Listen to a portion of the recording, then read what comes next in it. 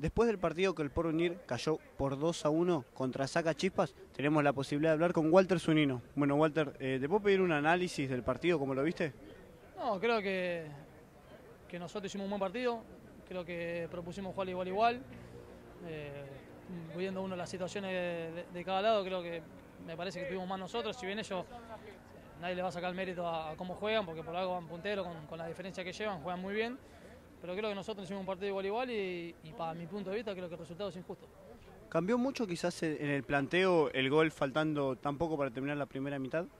No, no, no porque creo que el, el equipo del segundo tiempo salió a jugar igual, de la misma manera, no se apuró, generó situaciones, nos encontramos rápido con el segundo gol, apenas arrancó el segundo tiempo y, y el equipo siguió intentando.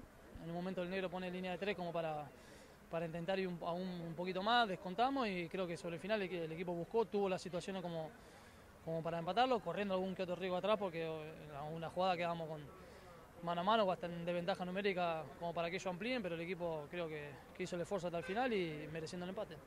¿Crees que un poco por ahí a Sacachispa lo sorprendió el planteo que hizo el porvenir? No sé, no, no sé cómo le, le jugarán los, los, rivales cuando, cuando, vienen acá. Nosotros salimos a jugar igual igual y a, a cubrir los espacios donde ellos, tanto el Dudy y los dos delanteros, que sabemos que, que, que por algo tienen la cantidad de goles que tienen. Y, pero nosotros creo que le cortábamos todos los circuitos y le salíamos rápido a atacar, no es que solamente proponíamos cerrarnos, sino cortar y, y salir rápido. Y, y, como te digo, en el primer tiempo generamos cuatro o cinco situaciones muy claras de gol. Y a lo mejor nos tendríamos que haber ido nosotros en ventaja y nos terminamos yendo en desventaja en la última jugada, pero, pero bueno, ya está. ¿Y qué, qué te pareció la, la, actuación del árbitro el día de hoy? No, yo dije, no, no me gusta hablar de los árbitros, eh, porque si no parecería que uno le saca mérito a Sacachipa, y la realidad es que ellos tienen un gran equipo, pero el árbitro en las que fueron divididas siempre fueron para el rival.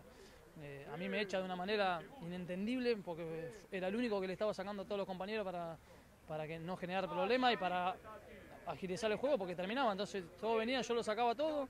Y le dije, le digo, no generes esto, Cristian fue la única palabra que le dije y me sacó la segunda amarilla y me echó. Pero la verdad que es inentendible. Gracias Walter eh, por la amabilidad. No, gracias. Ahí pasaba el defensor del porvenir, Walter Zunino.